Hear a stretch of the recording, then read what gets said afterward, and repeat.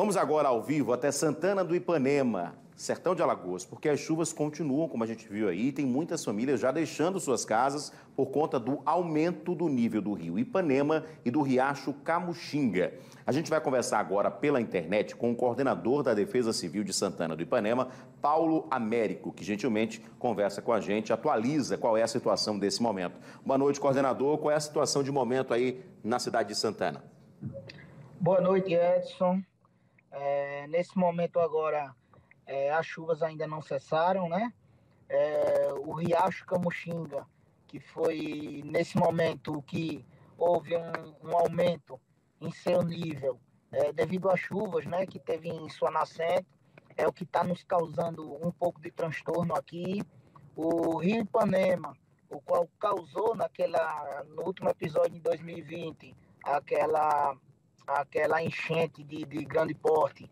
Nesse momento está controlado, né? A gente vem monitorando com as chuvas que vêm de Pernambuco, mas o grande o causador de, de, de nesse momento é o Riacho Camuxinga, devido às fortes chuvas que tiveram aqui em nossa cidade.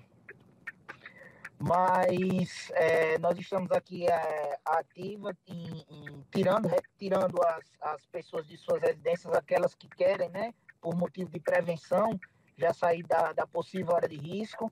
É, a prefeita disponibilizou toda a estrutura necessária para que a gente pudesse é, alocar essas famílias em pontos de, de, de, de, de é, para que eles possam ficar, né?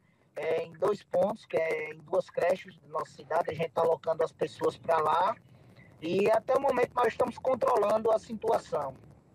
Coordenador, e o Riacho Camuxinga, que hoje essas imagens que a gente consegue ver, inclusive aí, esses registros, ele deságua no rio, no, no rio Ipanema, ou seja, a, a, cheia dele também provoca um aumento do nível do próprio rio Ipanema que corta a cidade?